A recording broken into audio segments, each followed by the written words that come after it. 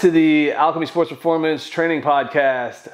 I'm Charles Schultz. This is Kyle Bobo.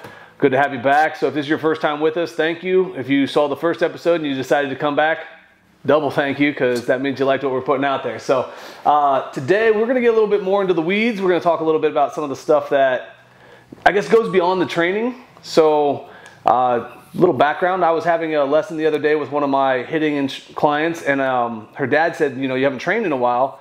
And her comment was, Well, I'm not planning on playing in college. And so, one of the things that Kyle and I love about this is that whether you choose or want to play after high school, the value you get from training goes well beyond what it does for you on the field, what it does for your career and playing in college. Great. If you get to play in college, that's awesome. We, we, we want to see that. We support that. But not many kids play after high school.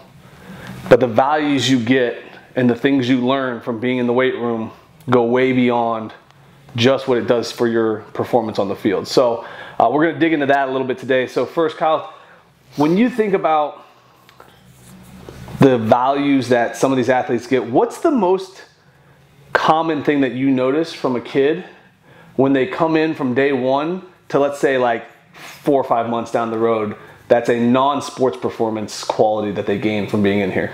Confidence. Oh yeah, for sure. confidence for sure. Um, to see, especially like, uh, I mean, I guess in general, like any any type of training, whether that's you know just our our high school development or a team training aspect. Um, I think from day one to getting the kids in for you know a few weeks into months into like some kids have trained with us for years and just getting getting to see that kid from the very first day that they come in to um, continuing to build on those pieces and the longevity of training and different stuff like that. And a lot of it is just putting things in front of you that um, from the beginning it's things that you don't think that you're going to be able to accomplish. And then and then you start to stack things on top of each other. And the consistency piece of training and doing things that are difficult kind of really shows each individual kid that comes in here that like I'm capable of doing a lot more than than I thought I was able to. And then once once a kid starts to gain more confidence than just in general where like it's training wise or weight room wise or on the turf stuff that we would do or just in general like it, it kind of just like changes that kid just having conversations with them from day to day and them coming in and and kind of getting out of their shell more and interacting with you know people that they may not interact with if they weren't coming to training or doing something like this. Um, obviously team training stuff you're working with your teammates and different stuff like that but even still just getting to know your teammates more uh, being around people that you know more you can open up to more um, it, it really is just like night and day type of difference from what you see in kids which is cool. Yeah no i think the confidence piece is an awesome one because there's such uncertainty when they come in they're not right they're not sure of their abilities. They're not sure of who they are. They don't think they can do a whole lot. And you said something really interesting is the communication piece that comes from it. Because when they become more confident, now they they feel assertive. They can right. they can speak what's going on. They they they carry themselves with a different type of presence. Right. Um, and that obviously does translate to the field, but it goes well beyond because in life you're going to have to feel uncomfortable. You're going to have right. to do the uncertain right. things and and this training environment gives you that confidence that even when you start to struggle, right. you can figure it out. You can work yep. through it. And I think that's one of the really cool pieces. I agree. Uh, the confidence piece is awesome. Um, what do you think of the ability to learn how to fail in a place like this? I think it's great because it's controlled failing pretty much, you know? Yeah. So if you if you fail in here, then it, it's good because it kind of teaches your it teaches you like okay, I can go to that place of failure. You know what I'm saying? But this is also like if you fail in something like this, odds are you're gonna get you're gonna get another attempt at it or or um, something to that capacity, right? Um, but it, I think it teaches you to be able to push yourself to like when things start to get hard and things get tough.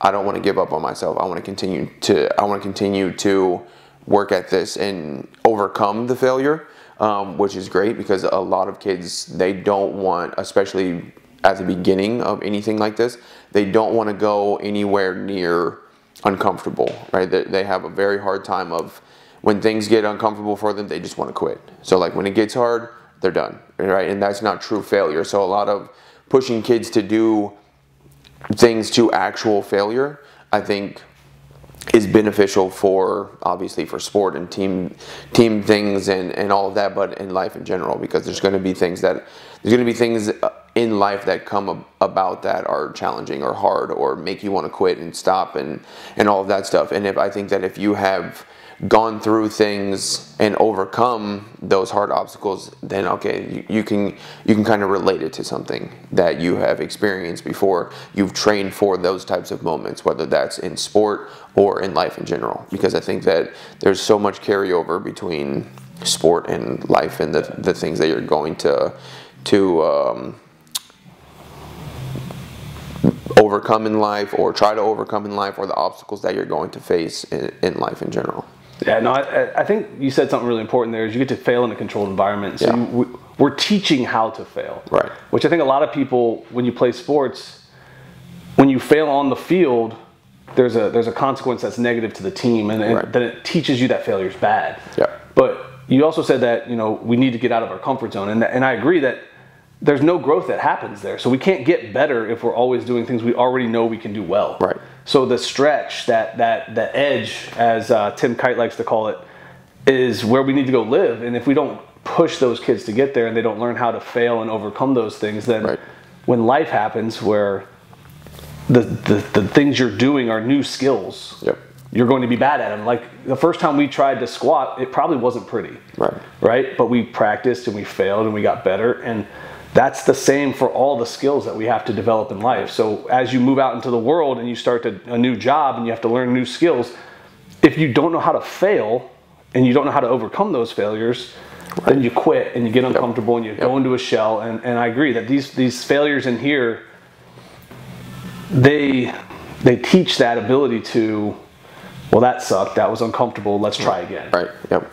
I think that I think that if you if you never face adversity or face any controlled fail, failure in your younger years, and then once you get out into the real world, into jobs and different things like that, and if you've never experienced anything challenging or kind of get you into that uncomfortable type of feeling, um, like that, that's that's kind of I feel like where it becomes really scary. You know, like okay. you've never like this, like like you said, or in sport, different things like that. If you fail or something doesn't go your way, you most of the time you know that you you can get a second chance at it. You can you can try you know uh, a PR again, or you can try whatever exercise or movement type of thing. There's going to be repetitions and repetitions and repetitions. There's a reason behind the repetitions that you would do. Or in sport, if something doesn't go your way, next play, next whatever it is, right? Um, if you've never experienced that or been able to kind of push yourself to or away from those things and kind of train yourself or your mind that those things are going to happen let me move away from it let me you know basically let that go and move on to the next thing or th- that sort of stuff. You get into the real world never have it experiencing any of those things. There's a lot more on the line as far as getting into having a real job and working working with people in a job setting most jobs that you will have or anything that you're going to want to do that has any value attached to it you're going to have to work with people or you're going to have to understand that you know not everything is always going to constantly go your way especially you know running a business or anything like that working for yourself all of that type of stuff. And then once you have a family, then you got to provide for those those people in your family. You have kids, you, you got to provide for the kids. You have bills and house and car and all of this stuff. If you don't understand that, how to kind of work with those things, you're constantly going to be struggling. I think and running away from the problems that will that will kind of arise. So like, I think that this stuff, as much as as much as we do this to make athletes better at their sports, as far as the training and the develop, develop, developmental pieces, I think a lot of it, especially for us and our focus, is trying to help these young athletes be better people in the long run. Because yeah. eventually, regardless, even if you go on to play professional sports, you're only going to play for so long, and then the, you still have the rest of your life to try and figure out and do something of value, hopefully, with the rest of the time that you do have. Um, because I think a lot of this goes beyond the short amount of time that you will play sports, and then you have the rest of your life to hopefully do something that provides those challenges and different things like that to do something of value with your life. Yeah. No, there's only there's only one Tom Brady playing into his mid 40s. That, that doesn't happen very often. Right. Most people, if you make it to your 30s in professional sports, you've had a really good career. Right. But that means you have more than half your life left. Yes. And I'm I'm thankful for my learning of how to fail because if we were to list all the things we failed at in this business up to this point, we'd have a whole episode. Yep. Uh, so, but the ability to learn from those mistakes, the ability to adapt from those mistakes, helps us stay afloat, helps us keep working, helps us build. Yeah. And that's why we're still here. Yep. So, um, you know, the cliche word I want to dig into next is you, you hear all the time is mental toughness, mm-hmm. and I, I think mental toughness has a lot of different meanings, but one of the things I love about a place like this is it. I think it develops that. So, in your experience, what are some of the things that you learn about yourself through the challenges in here that can relate to the mental toughness side of life and sports and those? Uh, I mean, kind of some of the things that we've talked about already. Um, it's a discipline type of thing to one just show up every day when you're supposed to be here, right? Um, to show up on time for training sessions or for workouts or whatever it is, right? Um, that's a discipline. Um, it would be easy to just kind of you know when you're not feeling it um, i'm just i'm not going to do i'm not going to go today or i'm not going to i'm not going to train today or i don't want to work out today different stuff like that right? Um, that that is another piece i feel like that kind of hones in on the mental toughness side right?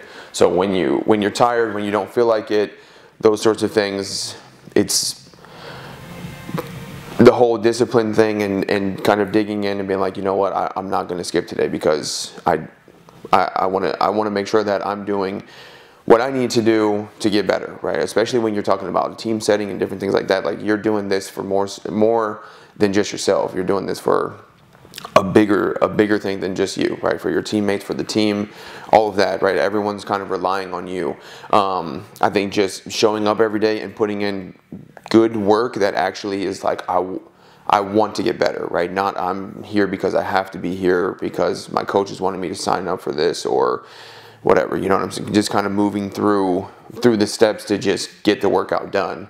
I think those types of things speak to mental toughness in general. Um, doing the things that you that you don't think that you would be good at, or kind of facing facing those fears is like, oh, I'm not, I can't do that, and then one of us or your teammates or whoever it is being like you, like you can do this you know what i'm saying? Um, and then seeing kids kind of overcome those things i think that makes them tougher and i think that that that shows them that kind of you know to believe in themselves a little bit more. So when i'm faced with something that i'm unsure of i can kind of fall back on these things that i've experienced before. I think that helps doing things to failure and really pushing yourself um, when things get uncomfortable and things start to, to kind of hurt more or less i guess you know it would be easy for you to just kind of quit like oh that's uncomfortable. I don't really want to go there you know versus pushing past that that discomfort zone and, and i think that that speaks to mental toughness and and all of those things you know in a in a controlled setting. I think that we do i think that we do a good job of showing kids those things right but also giving them value within their training that actually develops the athlete instead of just running kids into the dirt or just kind of constantly just breaking them down, breaking them down, breaking them down, yelling and screaming and, and that sort of thing. And I think that there's a difference in what you see as mental toughness training and like actual true athletic development training. Um, because they're I've seen kids come in from day one and turn into a completely different person from you know week whatever it is if we do an eight week block with the team. Um, but there's very few kids that will throw up in a, in a training session in here. There's very few kids that we are pushing and pushing and pushing, you know, because that's just not really our style. I think that kids can can improve mentally and go through some tough things and overcome those things, but not have to be run into the ground and talked down to or treated poorly and different stuff like that because then I think that that there's going to be some kids that sure could make you know they maybe come out on the other side of that and they they feel like they're stronger and maybe that's the way that they need to be coached or trained or something like that. I, but I also think in the same sense you're doing those kids a lot more of a disservice because as they get older, I think that they're going to equate working out and training to those types of days. And then I think it has this kind of negative connotation to working out and training. And then once you see younger athletes get into like we talked about the rest of their lives um, they have they have a negative approach or feeling towards working out and training. Where it could be this is supposed to be a tool that's supposed to help you throughout the rest of your life. So you know i'm 29 years old now and still train you know four or five days a week whatever it might be um, just because it, it's a discipline. It's something that there's days when you know we don't want to work out or we don't want to train or we don't want to do this don't want to do that. It would be easy for us to just kind of leave right? But it's kind of that discipline thing and and kind of you know still to this day wanting to challenge ourselves and get better and different stuff like that. If we had a bunch of people when we were younger you know yelling and screaming and and kind of belittling us or making us feel like less than or just pushing us to like an unrealistic type of place for you know more like conditioning purposes or whatever that doesn't really help us i think that now we probably wouldn't be doing what we're doing and we wouldn't be still training at the age that we are at. Yeah. So. No, I, I think you touched on a few really important points that I want to go a little deeper into. The first one is you mentioned the um, the discipline side of it, right. and I think that that's an important piece of all this. Is that mental toughness is the discipline to do hard things when you don't want to. Right. Right. It's not just being slammed to the earth and getting back up. That's that's not what we're trying to do here. The mental toughness goes well beyond just being screamed at and belittled and then still being tough in that the face of that adversity. Um, the discipline to do all your reps, the discipline to show up on time, the discipline to stay until your workout's done, the discipline yep. to do it every day. Yep. That's mentally taxing. That's hard because there's going to be many days where you don't want to do those things or it's going to be hard and you're like, man, six sounds great, but it says eight to 10. Yep. And the discipline to do those things makes you mentally tougher. Right. The ability to work hard to accomplish a goal when you mentally are telling yourself you don't want to. Right. And the follow through anyway makes you mentally tougher. And I think that's a really cool aspect of this is that you learn that. You can teach that. You can develop that. Um, the other one I really want to dig into is the fear side of it because you, you said that you know when you're faced with something that's uncomfortable or unknown you have this fear that i can't do this yep. and it's one of our least favorite phrases i can't do that but that's the fear speaking and the interesting thing about this is that no matter who you are or what you do and where you go you're going to face fear in life. Yep. and if you're used to backing down to fear you're going to stop accomplishing really cool things. Yep. and in here if you start to learn that you know that might be hard but i'll try. Yep. and you face those fears and that discomfort over time you create this ability to see fear for what it is. Okay acknowledge it. Yep. that's going to be hard. That's going to be scary. I don't know if i can do it but let's see what happens. Yes. And you you create this ability to then face those fears go forward attack them and the outcome may not be what you want but you're not going to back away from things that are unknown or scary right. or dis- discomforting yep. so oh, yeah. I would I would also say uh, a lot of that is now obviously depending on what what it is that you're that you're talking about, right? We're talking about kind of overcoming obstacles and and doing challenging things, right? right? I think a lot of it is a mindset thing. So if you if you are looking at something that is a huge goal or something, you know, something that you're trying to achieve, right? I think that if you constantly tell yourself like that's not doable or I can't do that, the same way within here, right? It's not always a lot. A lot of it is going to be a mindset thing, right? A kid is telling themselves that they can't do that even before they even try, right? Like that's one thing that I'm just like, I can't do that, right? So like I'm not asking you for it to be perfect or for it to be done absolutely correct but I'm asking you to give your best effort towards whatever it is, right? And if you're going towards a lot of these goals or trying to overcome some big things or, you know, obstacles coming in your way, you don't necessarily always have to hit those things perfectly right on the head, right? If we did everything perfect in here, we would probably be a lot further along in in our business, in our career, and, and that sort of thing. Um, but but in the same sense, we wouldn't have faced those adversities, and we probably wouldn't we wouldn't be getting or going to the places that we're trying to go because I think with a little bit of adversity it kind of really shows you how to work through things, how to question things and and it shows you, you know, like okay, that was hard, that was challenging, but I did it. You know what I'm saying? And I think that that kind of creates that hunger to want more and more and more, right? Um, so I think that a lot of it is just it's a mindset type of thing that I don't want to see kids have, right? Because I think that, yeah, a lot of things in life are challenging. Um, but if you just constantly told yourself that you couldn't do any of those things, then I think that you are going to be passed up by the other people that are telling themselves that they can. And that would be unfortunate for what you're trying to achieve because I think that it is achievable. A lot of it just comes down to whether you're going to tell yourself that you can do it or this person over here that's going to end up achieving it before you they're telling themselves the entire time that, that they could do it while you were doubting yourself or telling yourself that you can't. And then you see other people doing the same things that you were trying to get accomplished. What makes you different than, than them? Yeah no, um, that sort of stuff. I agree. I, th- I think the hardest thing is this this common mindset that we see that i can't do that before i tried it.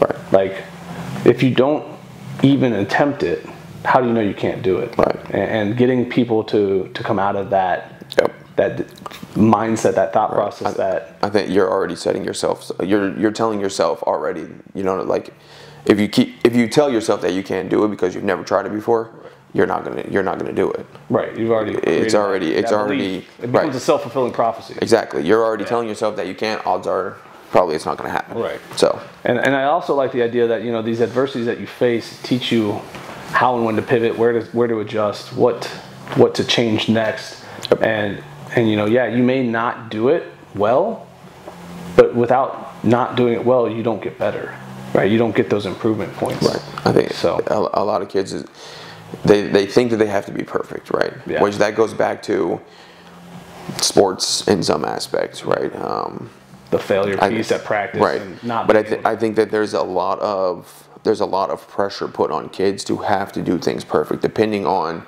how coaches coach, right?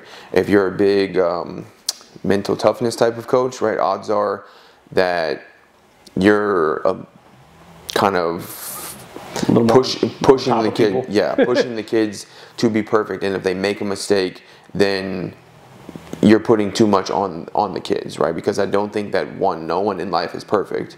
Two, no athlete has ever been perfect. Um, I think that if you put pressure, pressure on kids to think that they have to be perfect, they're going to be timid and afraid, and they're not going to have any confidence in themselves. Because if they mess up, then it, it's the end of the world, right? Instead of coaching a kid and telling them, hey, here's kind of what you messed up on, here's kind of what we're looking for, and odds are, most of the time the kid already knows what they did wrong, right? They don't need someone screaming over top of them and telling them that that's not how it's supposed to be done. You can't do that, different stuff like that. I think um, that kind of makes makes for almost a timid kid with no confidence and doesn't really truly believe in themselves or you know that sort of thing. They're they're not they're not willing they're not willing to try that stuff because they're afraid that they're going to mess something up. And for whatever reason they think that they have to be perfect. Yeah. and I think that uh, honestly it, it, it's unfortunate because I don't think that young kids especially you know talking young young kids I see some I see some young young kids that are just supposed to be having fun within sport and being kids and running around and it should be carefree and be they should be able to enjoy it. I see a lot of them having way too much pressure to to have to feel like they have to be perfect Right. because of the way that they are coached or whatever it might be. Um, and I- and I think that it, it's kind of messing up. It can mess up a kid's mindset or their you know um, their mentality to be eager to try new stuff because they they feel like if they can't do it perfectly, then people are going to judge them or yell at them or scream at them and basically tell them that you know they're once again kind of that belittlement type of talk or something like that. You know, I think that that is discouraging kids from pushing themselves to want to do new things because there's like I've never done this before. I know that I'm going to mess it up, so I can't do that. Yeah.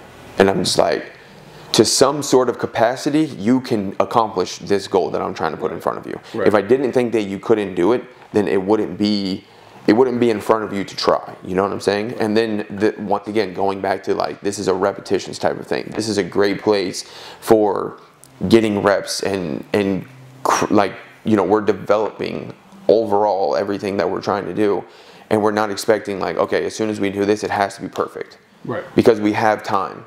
We have repetitions. We have second chances that we can continue to try this exercise. It doesn't need to be perfect.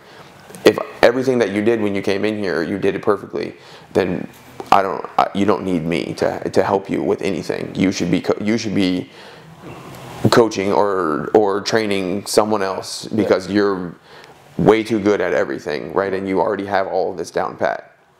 So I think that like this this type of setting and this type of place needs to kind of have that type of feeling, in my opinion, at least. So Yeah, no, I, I think you hit a point too with the, um, you know, kids know when they make a mistake. You don't need to tell them. And Right. I always come back to this uh, this analogy is, you know, as a baseball guy, pitcher struggling to throw strikes in from the sideline, you hear throw strikes. It's like, Right. oh, I knew I yeah. forgot. I knew I wasn't supposed to be doing As something, if- or like right. field the ball. Oh, as if as if I wasn't already trying to do Right, that. You know what I'm saying? you I think that if catch the you ball, like- right, if you coach the kid the correct things to do in the sport and the situations and different things like that, then I think that the coach should have the confidence in the kid, and the kid should have the confidence in the coach, and the, the kid should know what to do. The coach should should trust that the kid is going to know what to do because you're the one who taught them how to do that, or you're the one that taught them that scenario, that situation, what to do here, you know, all of that stuff. I think that your coaching should your coaching should be dictated towards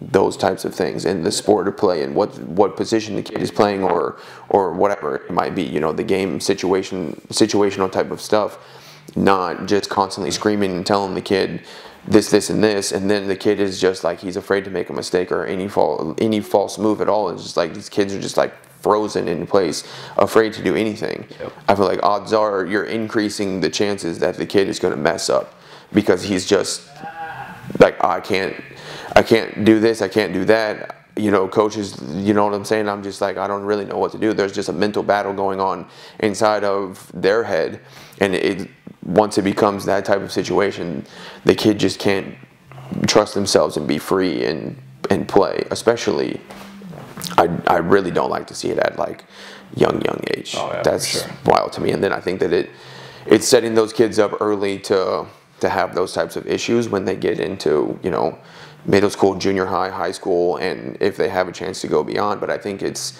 it it's kind of creating that type of athlete that's Yeah. afraid to do certain things, that's afraid to try new things because of kind of where their mental state is at because of those certain situations. Yeah, and your ability to be creative on the field is ultimately going to give you an advantage. Like if you look at the really good athletes, they do things fluidly, creatively to create opportunities for themselves. They have this ability to. Uh, some little technical difficulties today. I guess we're uh, we're working through our failure moments. Since that's kind of what we were talking about. Yeah, So, be easy on us. This is just our second time. We you know had a little mix up.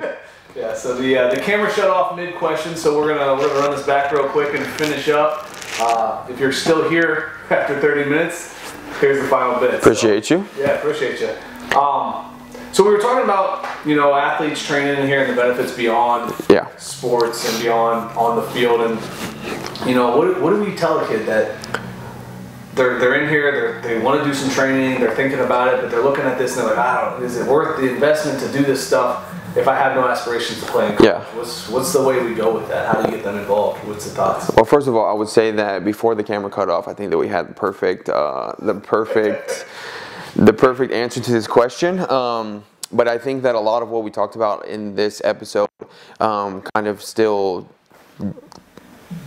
can can uh, benefit those kids. You know, coming in here, um, it it teaches them that sense of discipline, right? Uh, coming in and doing the training or doing what it is that they committed to, um, even when they don't feel like it, right? This is a commitment, regardless of how you look at it, um, and a lot of your commitments are going to be they're going to be asked of you even when you don't feel like doing them. You know, um, it's going to teach you responsibility. It's going to teach you time management. It's going to teach you um, doing some hard things and kind of overcoming those obstacles.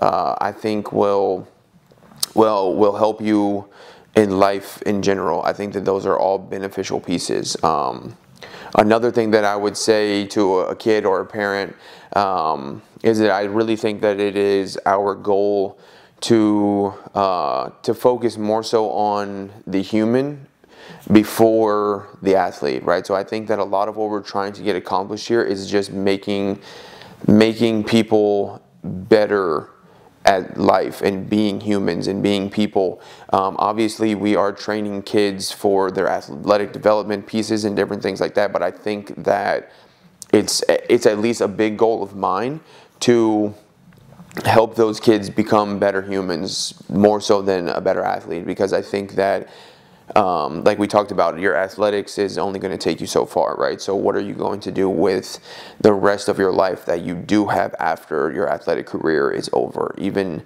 even if you're a kid that really has big aspirations to to go to college and play, or you want to go to play a professional sport, or whatever it might be, um, you're only going to play that sport for so long, and then what are you going to do after that? I think that the training that you do at the younger age and kind of setting your life up for for for uh, the rest of your life, more or less, um, is beneficial in in those types of pieces. Yeah, yeah, and no matter who you are, whether your career ends after high school, after college, after a little bit of time in the pros, it will end. Sports right. sports careers end, and the lessons you learn in here, the lifestyle adjustments to being healthy beyond sports, right. um, goes forever. That's yep. something that you can take with you, and that's the value of being a part of this. Is that you know we don't care, not necessarily we don't we don't care about your on-field success. We want right. you to be successful, but that's not who you are. That's not what we care right. about. Right. What we care about is your life success. Yes. And if we can get you to learn how to fail, learn to be disciplined, learn to face your fears, learn to, to face adversity head on. Right. We're going to set you up to be a leader in the community, to be a good husband, be a good, good mom, dad, whatever right, it may right. be. You're going to be somebody in a position where you can succeed. Yeah. Um, and, and the health aspect of it, I still come back to that because, you know, I know you know plenty of athletes who, when their their careers ended, they didn't want to work out anymore because right. the way they were treated prior to it and they didn't learn the value of it and then they they stop and they get unhealthy. Yeah. That's tragic because if you play at college, you're elite. Yep. Human performance wise, you are elite. Yeah. If you play professionally, you're even more elite. Yep. You should be a beacon of health and fitness. Yes. I, I think I think to add to that, I think that um, because that is such like an elite level status like it, it is something that so many people want to do mm-hmm. is play in college regardless right? And i think that the elite people are those that get to experience that and have that regardless of any level that you go and play a college sport. Like there's so many people that want to do that but they're not willing to do the things that it may take in order to get to that level right? And i think that those people especially the ones who do go to college you have already worked and done so much of all of this type of training that we're talking about or all of this stuff to set your life up for this. And then your sports career ends or you finish with college and a lot like a lot of times you see people that don't carry on those values for whatever reason. I don't maybe because it, it, it hasn't been it hasn't been kind of discussed with them as far as like you know really I guess how this stuff can translate and help you in life, um, or or just because everyone is only preaching and pushing and talking to these kids about athletics in college and, and that sort of stuff. And like here's the main goal of what we want to get accomplished. And then you get that accomplished and then you're just like now what? You know? And i think that a lot of people are only caring or talking about the athletic side of things where I want the kids to go to college, you know what I'm saying? And it's great, and like that's a goal of ours, obviously, because that's the kids' goals. Um, and I think that more important than that is having those discussions with the kids about life in general and setting setting life up for success, right? And and pursuing whatever it is that they want to pursue after sports or after college and continuing on that path. Um, and I, w- I and I think that doing these things at an early age and kind of creating those healthy habits and, and leading a life that is at least challenging yourself or wanting to kind of get stay in a routine of health and wellness and that, and that sort of thing, um, I think is beneficial. Like I said before, um, I don't know of too many people that you would look at and be like, that person is successful in what they do, that don't have some sort of health and wellness regimen or routine or something that, that they that that they do on a consistent basis and that sort of stuff. So, Yeah, because at the end of the day, it's, it comes back to can we build you into a healthier, better human? Right. Not just what you do on the field, because 7% of all high school athletes get the opportunity to play at college. That means 93% of careers end in high school. right, That's a lot of careers. Right. So if your your goal is to play in college, great, come train with us. If you don't have any aspirations to play in college, this is still an environment Yes. you can you can thrive in, you can Yep. learn in, you can grow in, and it will make your high school experience more fun because you'll be better, and it'll make your life a little bit better overall because you're going to learn some skills along the way. Yeah, So, um, but yeah, that's it for today, guys. Um, make sure you hit that subscribe button.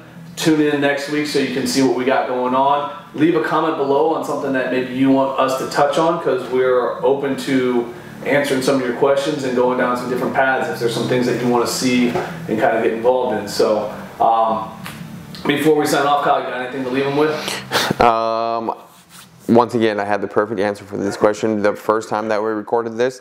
Um, I, I would like to, I guess, reiterate the fact that um, for us and what we are trying to do, um, obviously we are an athletic development facility, right? We work with athletes to be better athletes. But I think the big goal for us um, I guess I, me specifically, I'm sure that you are in line with this as well, um, is that we we want to work on making kids better people before the athlete, right? Or more importantly, so right. I think that we are trying to find the perfect way to combine both pieces, right? And we we care about the athlete um, as a person more than the athlete itself.